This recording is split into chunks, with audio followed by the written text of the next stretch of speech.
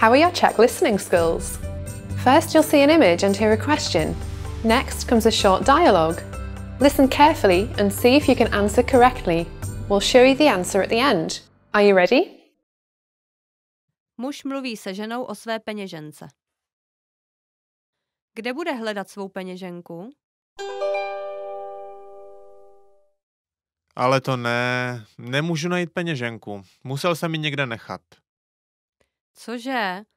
Pamatuješ si, kdy jsi měl naposled v ruce?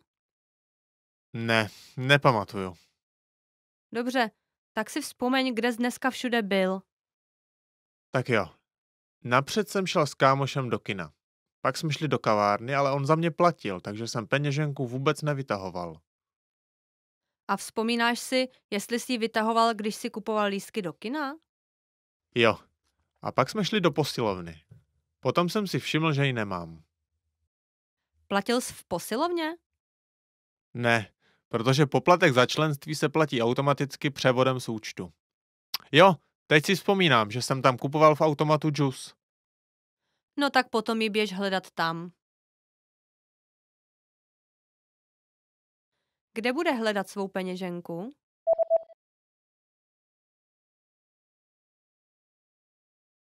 Muž mluví se ženou o své peněžence. Kde bude hledat svou peněženku? Ale to ne, nemůžu najít peněženku. Musel jsem ji někde nechat.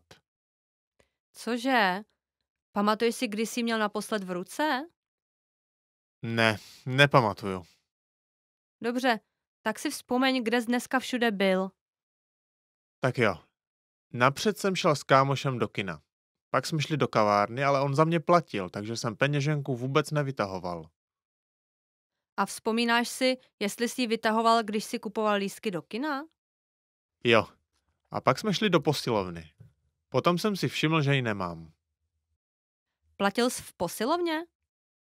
Ne, protože poplatek za členství se platí automaticky převodem z účtu. Jo, teď si vzpomínám, že jsem tam kupoval v automatu džus.